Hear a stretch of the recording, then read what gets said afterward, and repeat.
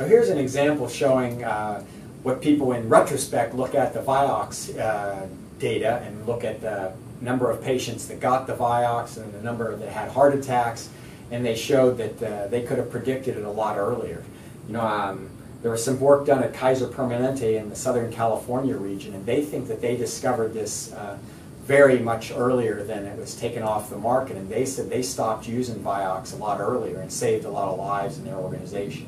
And they had access to about 5 million patients worth of data in their system, so it's possible that they saw this.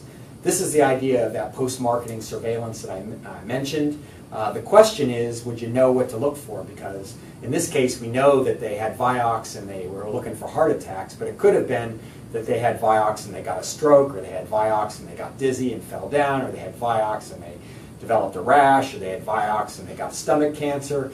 So you got to remember there's almost an infinite number of potential adverse events associated with every medication. So you'd have to do a, a huge number of searches and a huge number of statistical tests to try to find out whether something's a, an important change or just a random change.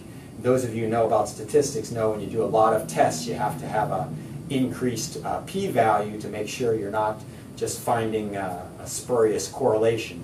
If you're curious, you could go to spuriouscorrelations.com. You can look at a site like that and see uh, just how uh, absurd these things can be.